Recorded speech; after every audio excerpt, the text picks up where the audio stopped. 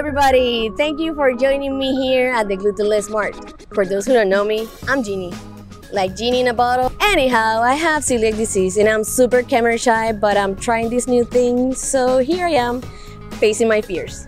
With our videos, we want to bring you information, fun entertainment, classes, recipes, tips, and much more in relation to a gluten-free diet and what it means for a person with celiac disease like me and how a gluten-free diet can be beneficial in many ways depending the approach given on the health needs of each individual. I found this place behind me on the Find Me Gluten Free app while searching for restaurants here in Orlando located in the Winter Park area. Before we continue, don't forget to hit that subscribe button, follow us on the social media networks, like this video, hit the notification button so you don't miss our coming videos, and comment about what you'd like to see next. Now, let's go inside, come on.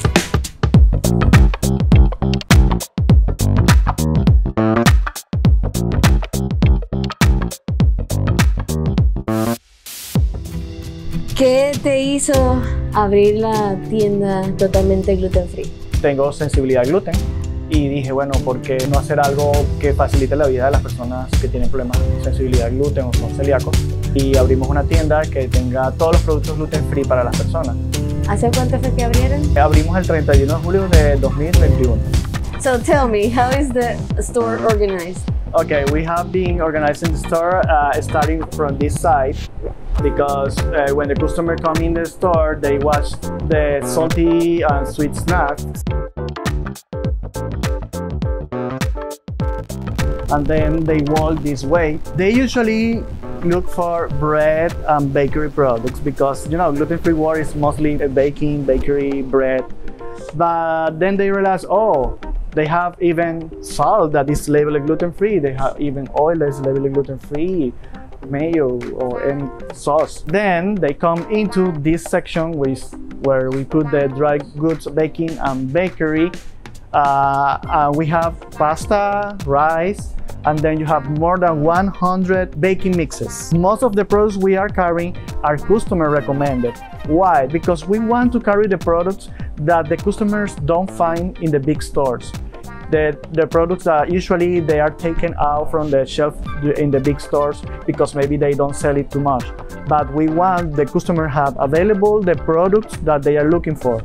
Um, brands that are not only gluten-free, but also, for example, uh, this brand that is without sugar, and also a, a complete list of, uh, of things that is not present in the mix. So uh, they don't need to spend too much time looking at the labels because they are sure that all the products that they are buying are gluten-free, but maybe also dairy-free, peanut-free, corn-free, egg-free, soy free. We are trying to do our best to, to put the lowest profit for us in order to the customer uh, have the possibility to buy the products. That's the idea, Good. to be accessible to the people first. Okay. Then we have the bread, then we have the beside the drinks, beverage, and the holiday section. In this corner, we used to sampling events. When companies come, we put a table, uh, oven or microwave, and they do some. Then we have the cereals and baby food, all the granolas. Uh, we have uh, all type of uh, oats um, from different brands, from well-known brands to maybe special brands that people are not too familiar to, but they are recommended also by customers. Okay. Then we have another section that is not related to the gluten-free world. But you know, gluten-free people need to buy household products and personal care products. We are also like a convenience store. Then we have the personal care. The personal care section, um, some people maybe would think that, oh, this is Gluten free, come on. Yes, this is gluten free. Every product we have here says gluten free. From toothpaste to mouthwash to body body wash, shampoo, everything says gluten free because there are people that are sensitive, highly sensitive to the gluten. So that's why it's more it's really important to have gluten free labels on personal care products. If you put a lotion, your skin will absorb that. And if you are uh, allergic to that, you will feel, you will notice. So that's why we also put a personal care section. Then we have the cooler Um, this is the hardest part of our store. This is the struggle we are having now because usually people don't look at dairy products, ham. I would like to let them know that it's important to have a gluten-free without cross-contamination. Any product that you have at home, if you want to avoid the cross-contamination, you need to even put dairy products or cheese or juices without contamination. So that's why we are trying to fill this space. And you have soups, beans, you have vegetable in can, everything also is gluten-free. This is the most important section that we are looking to, um, to grow. This is the frozen products. This is the section that people look the most because they are looking for sweets, they are looking for bread. Junk food. Yeah. yes, yummy.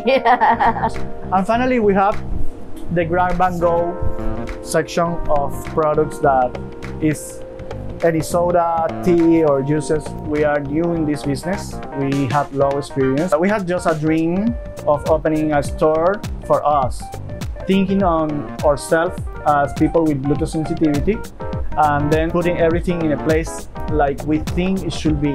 But we're still learning from our customers, learning about the prices, learning about the products they like, and try to do the best for the community because we think people with gluten sensitivity and celiac should have access to the food and they should have food security. ¿Qué ha sido lo más difícil que has confrontado con tu vida gluten free? El hecho de que los productos gluten free son muy costosos que no tienen el mismo sabor que debería tener un producto regular y que son difíciles de conseguir. Entonces, eh, con el tema del sabor, uno siempre busca que se parezca, sobre todo los dulces, las tortas, que tengan un sabor similar al que uno siempre come, pero es imposible, nunca va a ser igual. Aunque últimamente ha, ha, mejorado mucho todo. Sabemos que no todo el mundo tiene el mismo problema, quizás no haya suficientes marcas o no sacan los productos tan frecuentes como quisieran.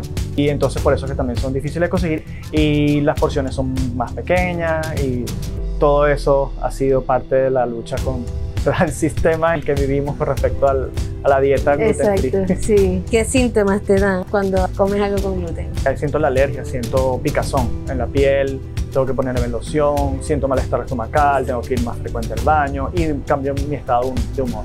Me siento un poco amargado, deprimido, obstinado y antes yo pensaba que era por mi personalidad y después de que me di cuenta que era lo del gluten, era por el gluten, no por mi personalidad.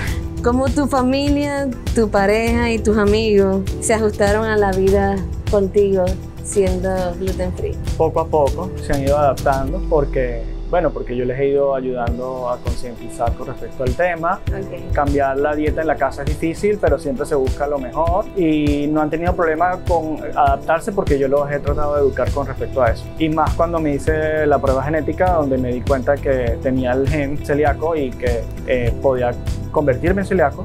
Entonces ya incluso mi hermana, por ejemplo, ella también evita comer gluten, ella y su familia tratan de comer siempre sin gluten y y más bien han sido bastante receptivos con el.